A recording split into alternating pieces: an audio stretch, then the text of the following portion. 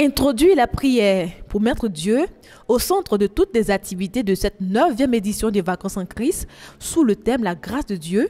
C'est la mission que se donne en cette matinée Maman Anna Poutry, deuxième responsable du ministère aux enfants de la CMCI Côte d'Ivoire. Pour montrer aux agneaux qu'il faut prier sans cesse, Maman Anne a fait lire la parole de Dieu dans le livre de Luc 18, verset 1 et Romains 12, verset 12. La prière est au cœur de toutes les activités c'est cela nous avons commencé d'abord la prière. En fait, c'est une invitation au Seigneur de prendre le contrôle de toutes les activités que nous allons eh, avoir sur le site pendant les dix jours. Quand on voit les tout petits courir pour venir insister, peut-être ça va paraître banal, mais ça montre que vraiment les enfants aiment vraiment la prière en insistant, les enfants et les tout petits ont insisté, les adolescents ont insisté, les moyens même ont insisté. Ça dit que la prière en toutes choses est nécessaire. Chaque moniteur est responsable d'un groupe d'enfants. Un bulletin est donné à chaque équipe avec lequel ils doivent prier. Pendant un moment, les enfants avec leur moniteur s'adonnent à la pratique de la prière. Ils se prêtent bien à cette activité et réagissent en insistant. Très satisfaits de cette première activité, les agneaux l'ont bien compris. Il faut mettre Dieu au devant de toutes choses. Gloire à Dieu, je suis la sœur Lombé Adounira Divine. Professé le disciple pasteur Lombé Innocent. Ce que j'ai retenu dans cette session de prière, c'est que avant toute chose, il faut prier. La prière est très importante car lorsque tu pries, Dieu descend pour exaucer ton sujet. Et j'ai pris l'engagement de prier avant de faire toute chose pour que Dieu soit dans ce que je vais faire.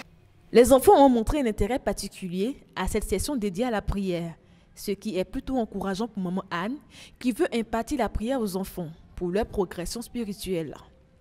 Après une bonne session de prière le matin, l'après-midi, c'est plutôt la détente.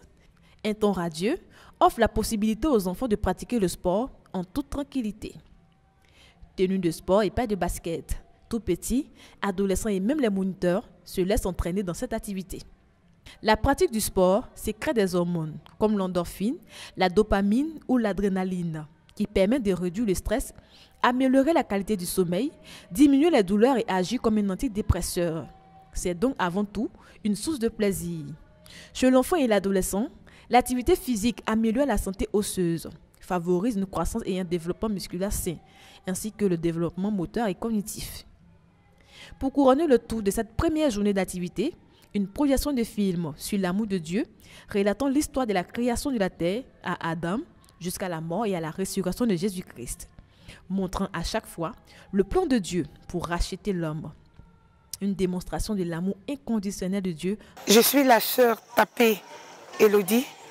Je suis ministre aux enfants et j'encadre les enfants de 9 à 12 ans.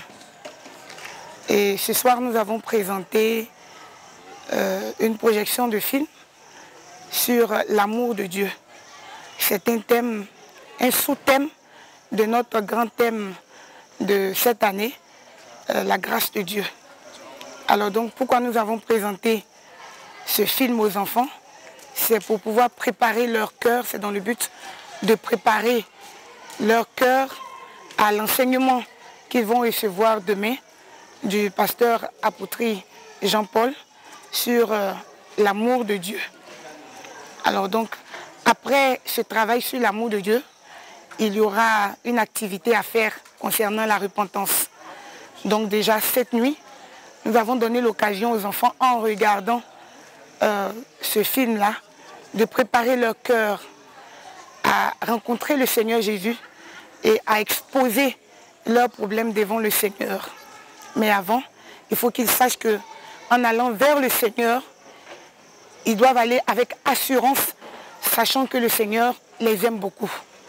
Nous rappelons que cette journée a été également marquée par la visite d'une délégation venue de Boaké, avec à la tête le pasteur Ange Apléa, les bras chargés de vivre pour soutenir le ministère aux agneaux.